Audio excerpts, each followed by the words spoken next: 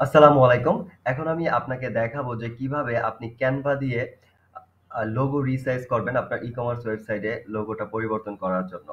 কারণ ই-কমার্স ওয়েবসাইটে যদি আপনি আপনার লোগোটা পরিবর্তন করতে যান, লোগোর সাইজ হইতে হবে 200x100 pixel. 200 pixel wide, 100 pixel height. So আপনার যেই মেইন লোগোটা আছে এটাকে রিসাইজ করে এইরকম সাইজের আনতে হবে। অ্যান্ড এটা আপনি ক্যানভা দিয়ে কীভাবে করবেন আজকে এটাই দেখাবো। অ্যান্ড হচ্ছে আর এই রিসার্চ করতে গেলে অনেক সময় আপনার ছবিটা বা লোগোটা চ্যাপ্টা হয়ে যায়, অন্যরকম হয়ে যায় বা ওটাও হবে না বাট আপনি এত ছোট সাইজও করতে পারবেন। সো এই কাজটাই একটু দেখেন আজকে। তাহলে হচ্ছে আপনি নিজেই নিজের ই-কমার্স ওয়েবসাইটের লোগো রিসাইজও করতে পারবেন অ্যান্ড পরিবর্তন করতে পারবেন যখন প্রয়োজন হয়।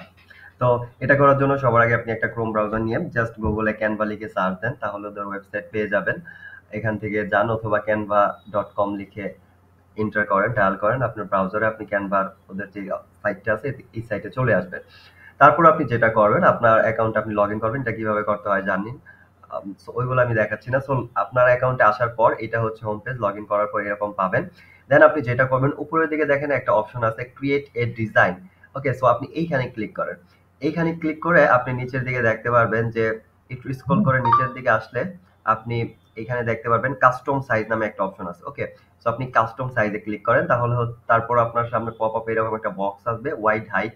সো এখানে আপনি ওয়াইড এর ঘরে দিবেন হচ্ছে 200 200 পিক্সেল আর হাইট এর ঘরে আপনি দিবেন হচ্ছে 100 ওকে আর এইখানে পিক্সেল থাকবে, অন্য কিছু না পিক্স পিএক্স ডিফল্ট ভাবে থাকে, এটা থাকবে, অন্য কিছু থাকলে আপনি পিএক্স দিবেন পিক্সেল সো তারপর হচ্ছে ক্রিয়েট এ নিউ ডিজাইন এটার মধ্যে ক্লিক করবেন, এই বাটনে এই বাটনে ক্লিক করার পর আপনি দেখবেন আপনার সামনে এরকম একটা পেজ চলে আসবে, যেটা হচ্ছে 200 বাই একশোর একটা ফ্রেম সো এইখানে আপনি আপনার অলরেডি হয়ে গেছে। এখন জাস্ট এটার মধ্যে আপনার ছবিটা আনতে হবে। এটা আনবেন কীভাবে আপনি? আপনার লোগোটা এই যে লেফট সাইড নেবে দেখেন, এই যে আপলোড নামে একটা অপশন আছে বাটন আছে, ঠিক আছে? আপনি আপলোড বাটনে ক্লিক করেন, তাহলে আপনার সামনে এইরকম আসবে। দেন হচ্ছে আপনি এখান থেকে যে আপলোড ফাইল নামে একটা অপশন বাটন আছে, এটাতে ক্লিক করেন। এটাতে ক্লিক করার পর আপনার লোগোটা যেখানে আছে আপনার পিসির মধ্যে ওইখান থেকে এটাকে সিলেক্ট করেন করে জাস্ট অথবা ডাবল ক্লিক করেন তাহলে এটা ওপেন হয়ে যাবে। এটা এখানে আপলোড হয়ে যাবে। একটু ওয়েট করেন এটা আপলোড হওয়ার পর দেন হচ্ছে আপনি এটার মধ্যে ক্লিক করেন তাহলে হচ্ছে এই লোগোটা আপনার এই আপনি যে ফ্রেমটা নিয়েছিলেন দুইশো বাই একশো এটার মধ্যে চলে আসবে। ওকে সো এইটা আসার পর আপনি যেটা করবেন দেখেন এই ফ্রেমের মধ্যে আপনি জাস্ট এটাকে যতটুক করা যায় বা আপনার সুন্দরভাবে আপনি সেন্টার এটারে বসান অ্যান্ড একটু রিসাইজ মানে একটু এই যে এইভাবে টান দেন উপরের দিকে, নিচের দিকে দেন হচ্ছে আপনি এটাকে সেন্টারে বসান। যতটুকু বড় করার করেন, যতটুকু দেখতে ভালো মনে হয়। সো এটা আপনার সেন্টারে বসল। সো এটার মধ্যে একটা আপনার ব্যাকগ্রাউন্ড থাকতে পারে আপনার লোগোতে অনেক সময় ওইটাও যদি আপনি রিমুভ করতে চান দেন হচ্ছে আপনি এই, এটা, এই পিকচারটার মধ্যে ক্লিক করেন, করে এডিট ইমেজ আছে উপরে। দেখেন একটা বাটন সো এটার মধ্যে ক্লিক করেন।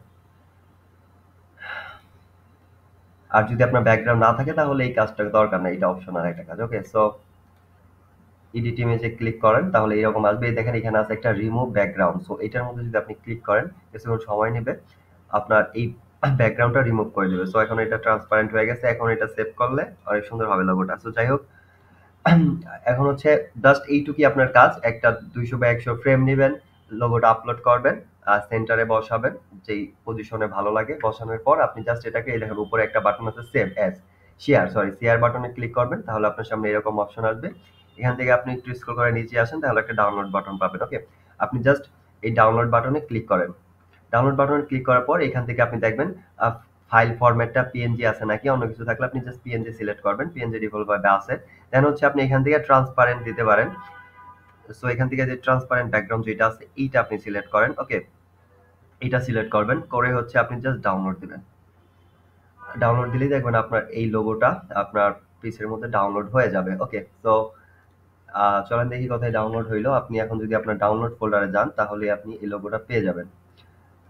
মানে যেখানে ডাউনলোড আছে। দেখেন, এই যে, এই লোগোটা এইমাত্র ডাউনলোড করা হলো দুইশো বাই একশো। দেখেন প্রপার্টিস দেখেন। প্রপার্টিস আপনাকে আমি একটু দেখাই। দুইশো ইন্টু একশো। সরি ডিটেলসে যদি যাই, দেখেন ডাইমেনশন দুইশো ইন্টু একশো। দুইশো পিক্সেল ওয়াইড একশো পিক্সেল হাইট আচ্ছা ঠিক আছে সো এখন আপনি চাইলে এটা আপনার ই কমার্স ওয়েবসাইটে আপলোড করে দিতে পারবেন। আপলোড করে দিলে চেঞ্জ হয়ে যাবে আপনার লোগোটা আর কোথায় কীভাবে আপলোড করতে আই থিঙ্ক জানেন না জানলে এটার জন্য আরেকটা ভিডিও আছে, এটা দেখলেই বলবেন আজকের ভিডিওটা ছিল শুধুমাত্র হচ্ছে আপনার লোগোটা কীভাবে রিসাইজ করে নেবেন, এইটা। সো আই থিঙ্ক আপনি বিষয়টা বুঝতে পারছেন, আপনি আপনার লোগোটা রিসাইজ করতে পারবেন। সো আজ এ পর্যন্ত আল্লাহ হাফেজ গুড বাই আসসালামু আলাইকুম।